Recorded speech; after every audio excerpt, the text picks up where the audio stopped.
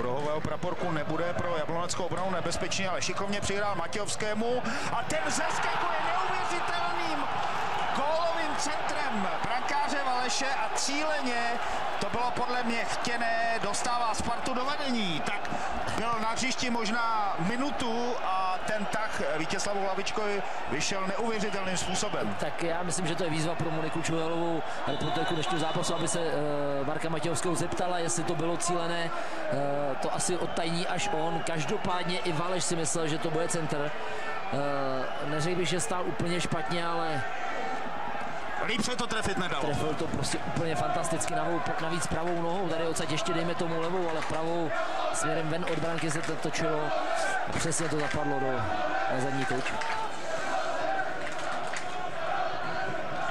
Tak velmi rychle rozluštěný otazník, proč odešel ze hřiště gólový Josef Hušbauer a nahradil ho nahrávající Marek Matějovský.